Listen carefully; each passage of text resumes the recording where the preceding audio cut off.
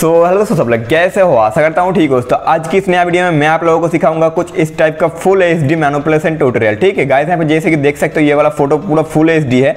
तो आप लोग किस तरीके से full H D photo editing कर सकते हो, वो भी अपने फ़ोन से ही। तो आप लोगों को जैसे कि पता होगा कि पिक्सार्ट से आप लोग अगर एडिटिंग करते हो तो थोड़ा सा क्वालिटी लूज होता है। तो आज मैं आप लोगों को करके दिखाऊँगा ऑटोडिक स्केच बुक की मदद से एंड पूरा फुल एच एकदम फ़ोटो एडिटिंग करके, ठीक है? तो पूरा वीडियो को एंड तक देखना। और वीडियो अगर पसंद आए तो कर देना एक लाइक चैनल पर अगर नया हो चैनल को सब्सक्राइब कर लेना ऐसा नया नया वीडियोस देखने के लिए। और हाँ गाइज़ मुझे इंस्टा पर भी जाकर फॉलो कर लेना लिंक इन द डिस्क्रिप्शन वहाँ पर मैं सब कुछ अपडेट दे देता हूँ तो जाकर फॉलो ज़रूर कर लेना। तो चलिएगा आज का वीडियो स्टार्ट कर लेते हैं। सो so, गाय यहाँ पर जैसे कि देख सकते हो ये वाला बैकग्राउंड एंड इसी वाला बैकग्राउंड के ऊपर मैं आप लोगों को करके दिखाऊँगा। एंड ये वाला बैकग्राउंड भी पूरा फुल एच है जैसे कि आप लोग देख सकते हो। तो बैकग्राउंड का लिंक एंड जो भी कुछ सारा पीएनजी वगैरह यूज़ करूँगा, सभी का लिंक डिस्क्रिप्शन बॉक्स पर दे दूँगा। आप लोग सिंपली वहाँ से डाउनलोड कर सकते हो। पहले पूरा वीडियो को एंड तक देख लो, समझ लो कि कैसे आप लोगों को करना है। उसके बाद डाउनलोड करके आप लोग कर सकते हो। नहीं तो बाद में आप लोग कमेंट करते हो कि भाई नहीं हो रहा है, नहीं हो रहा है। आप लोग वीडियो को पूरा एंड तक नहीं देखते हो, इसलिए आप लोग नहीं कर पाते हो। तो पहले समझ लो भाई वीडियो को, ज़्यादा लंबा नहीं है वीडियो ठीक है? तो इस वाला बैकग्राउंड को सिंपली यहाँ पर शेयर के बटन पर क्लिक करके लेकर चले जाऊँगा ऑडियो स्केच बुक के अंदर। तो सिंपली यहाँ पर ऑडियो स्केच बुक के अंदर क्लिक कर देता हूँ एंड यहाँ पर सिंपली आ जाता हूँ ऑडियो स्केच बुक के अंदर। तो गाइस देख सकते हो यहाँ पर बैकग्राउंड ऑडियो स्केच बुक के अंदर ओपन हो गया है, ठीक है? तो अब आप लोगों को सिंपली क्या करना है, जो आप लोग फ़ोटो यहाँ पर बिठाना चाहते हो, उसको ऐड कर लेना है। तो यहाँ पर सिंपली आप लोगों को उसको ऐड करने के लिए यहाँ पर क्लिक करना पड़ेगा सेकंड वाला ऑप्शन पर। देख सकते हो ऊपर ऊपर जो लाइन है, वहाँ पर सेकंड वाला ऑप्शन पर आप लोगों को क्लिक करना है। और यहाँ पर देख सकते हो गाइस इंपोर्ट इमोज इमेज बोलकर लिखा हुआ है थर्ड नंबर पर थर्ड नंबर लाइन पर सेकेंड वाला ऑप्शन ठीक है? सो so गाइस यहाँ पर जैसे कि देख सकते हो, मैं फ़ोटो ऐड कर लिया हूँ एंड कटआउट पहले से ही करके रखा था। एंड जिन लोगों को कटआउट करना नहीं आता है, वो लोग सिंपली मेरा वीडियो देख सकते हो। कटआउट वीडियो का लिंक डिस्क्रिप्शन बॉक्स पर है, ठीक है?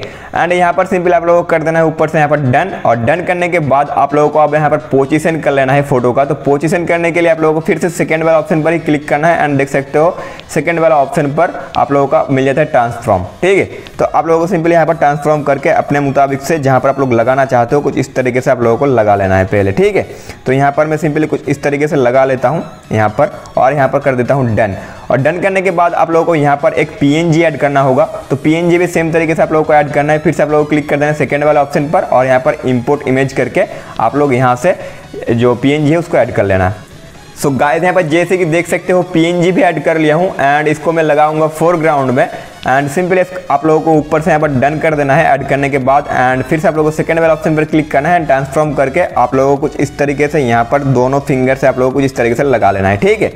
यहाँ पर कुछ इस तरीके से और आप लोग चाहे तो यहाँ पर सिंपली में डन कर देता हूँ पहले एंड आप लोग चाहे तो इसका ओपोसिटी भी कम ज़्यादा कर सकते हो इसके लिए आप लोगों को यहाँ पर देख सकते हो लास्ट यहाँ पर जो ऑप्शन मिलता है आप लोगों को यहाँ पर लेयर का ऑप्शन है यहाँ पर लास्ट वाला सेकंड वाला ऑप्शन पर ठीक है और यहाँ पर देख सकते हो लेयर पर यहाँ पर पीएनजी है तो आप लोगों को यहाँ पर सिंपली क्लिक कर देना है पीएनजी के ऊपर और यहाँ पर देख सकते हो गाइस इसका ओपोसिटी यहाँ से आप लोग फिक्स कर सकते हो एंड यहाँ पर आप लोग यहाँ से ब्लेंड मोड भी चेंज कर सकते हो यहाँ से देख सकते हो और पिक्सार्ट में जो ब्लेंड मोड मिलता है वहाँ पर लिमिटेड मिलता है मतलब चार या पाँच ही मिलता है लेकिन यहाँ पर देख सकते हो गाइस बहुत सारा है, ठीक है ब्लेंड मोड तो यहाँ से आप लोग बहुत एडवांस लेवल का भी एडिटिंग कर सकते हो। यहाँ से आप लोग कर सकते हो एंड यहाँ से ही आप लोग लोगो वगैरह अपना जो लोगो लगाते हो फ़ोटो पर, वो लोगो आप लोग ऐड कर सकते हो यहीं से ही। तो यहाँ पर इस फ़ोटो पर कुछ भी नहीं किया तो सिंपल इसको क्या करूँगा सेव कर लूँगा, ठीक है? तो सेव करने के लिए आप लोगों को फास्ट वाला ऑप्शन पर क्लिक करना है, और यहाँ पर शेयर के ऊपर क्लिक कर देना है सेव टू डिवाइस एंड उसके बाद आएगा सेव का ऑप्शन आप लोगों को सिंपली सेव कर लेना है फ़ोटो को, ठीक है? एंड इस फ़ोटो को लेकर चले जाऊँगा मैं लाइट रूम के अंदर कलर ग्रेडिंग करने के लिए। तो चलिए लाइट रूम के अंदर चलते हैं। सो so, गाय यहाँ पर जैसे कि देख सकते हो मैं लाइट रूम के अंदर फ़ोटो को लेकर आ चुका हूँ यहाँ पर। और आप लोगों को मैं एक बात बता देता हूँ पहले। यहाँ पर गाय जैसे कि देख सकते हो हेयर्स मेरा तो यहाँ पर हेयर्स मेरा नहीं बनाया हुआ है।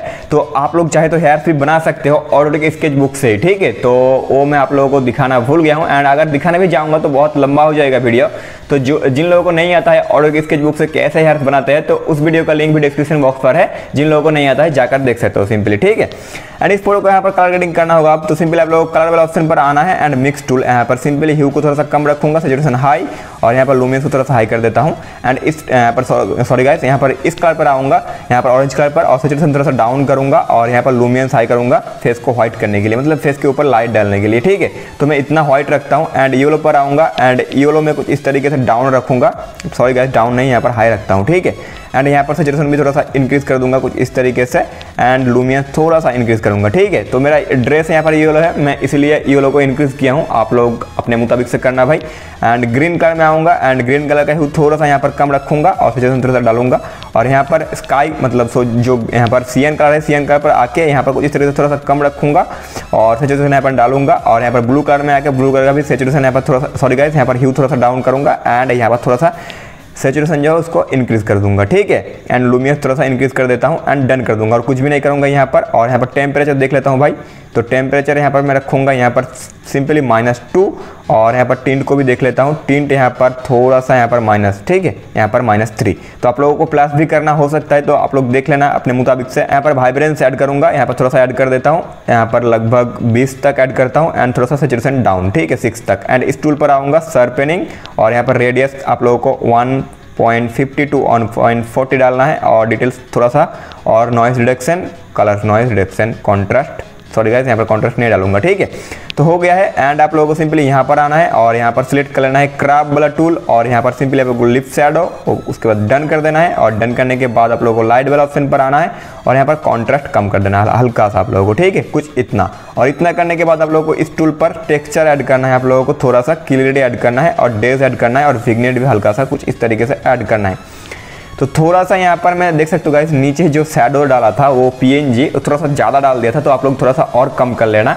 ठीक है तो यहाँ पर मुझे ज़्यादा लग रहा है अभी, यहाँ पर विग्नेट डालने के बाद तो थोड़ा सा कम विग्नेट डालता हूँ, थोड़ा सा ज़्यादा लग रहा है यहाँ पर मुझे। जो मेरा ओरिजिनल फ़ोटो है इंस्टाग्राम के अंदर जाकर देखना, इतना ज़्यादा यहाँ पर ब्लैक नहीं था तो यहाँ पर हो गया है, अब क्या ही कर सकते हैं भाई।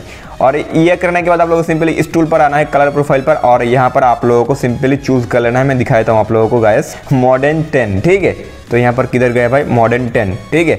और आप लोग यहाँ से इसका ऑपोजिट कम ज़्यादा कर सकते हो तो सिंपली यहाँ पर मैं रखूँगा थर्टी फाइव ठीक है? और यहाँ पर डन कर दूँगा। डन करने के बाद और एक चीज़ आप लोगों को यूज़ करना होगा जो मैं भूल गया था। आप लोग अगर बैकग्राउंड चेंज कर रहे हो किसी फ़ोटो का, यहाँ पर जो आप लोगों को स्प्लिट टोन मिलता है, आप लोगों को ये वाला चीज़ यूज़ करना ही करना है, ठीक है? तो यहाँ पर मैं कुछ इतना डालूँगा सेचुरेशन और यहाँ पर मैं शैडो भी थोड़ा सा हल्का सा डाल देता हूँ यहाँ पर, लगभग थ्री तक, ठीक है? एंड डन कर दूँगा।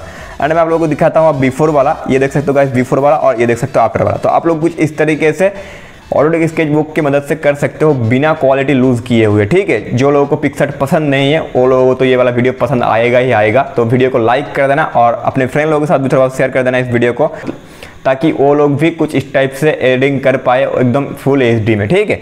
तो चलिए गए मिलते हैं नेक्स्ट वीडियो में। तब तक के लिए बाय बाय अपना ख्याल रखना।